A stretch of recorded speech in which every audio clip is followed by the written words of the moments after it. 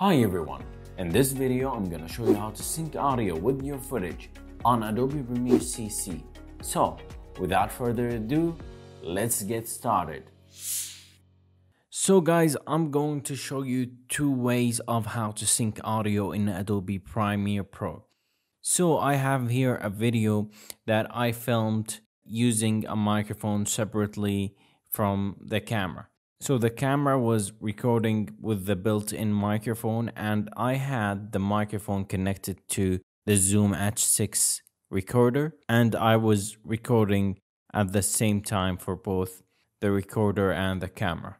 And now we want to sync the audio that we recorded on the recorder with the video. Because the quality of the built-in mic in the camera is not a good quality and I'm going to play it for you so you can hear how bad it sounds. Hello everyone and welcome to this video. In this video I'm gonna be So guys as you listened it's really bad. This sound has noise. It's really low. Now to make the video sound better we are going to sync the audio that we recorded on the Shure SM7B microphone. And the way to do that is we want to have both files in the timeline, the audio that we recorded and the video.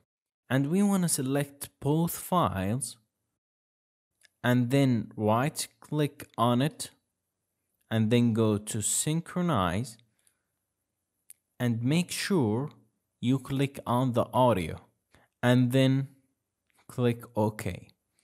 And now as you guys can see, it is synced together, the audio and the video. And now we want to go to this audio layer right here and we want to mute it. So just click on the M icon right here. And now it's muted and the audio that we want is right here. Now we want to see what the results are so let's just play it. Hello everyone and welcome to this video. In this video i'm gonna be reviewing the shure sm7b microphone. Now you can see that it's a really good video. Now i want to show you the other way that we are going to sync this audio and it's going to be manual. Some of you will ask why do i need to learn this way if I can just click a button and it is done. Let me tell you why. Sometimes you will have problems in your audio that you recorded on the mic and you can't fix it. So you will have to record it again. And you don't want to record the whole video, you just want to fix that small mistake. But if you use the way that I showed you, it would not work because Simply, it is not recorded at the same time, so it does not have the same frequency of an audio, so the software won't recognize it and sync it. So I have to do it manually. And now let me show you how to do it. First, I want to mess up the video that I synced. And now we are going to use the waveform to sync the audio. We want to zoom in in the timeline.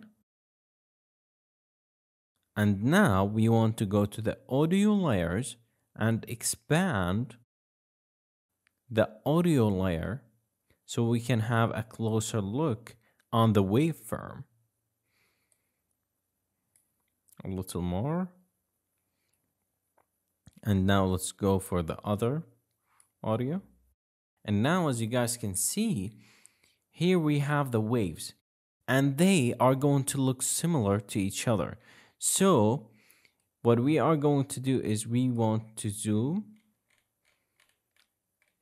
as much as we can so we can look at the wave and make it exactly at the right point. You can see guys that it is already synced because I synced it before and now let's hear it. Hello everyone and welcome to this video. In this video I'm gonna be reviewing the Shure SM7B and that is pretty much how you sync audio in Adobe Premiere. I hope this video helped you and I would be grateful if you could smash that like button for me and don't forget to subscribe and I will see you in the next video.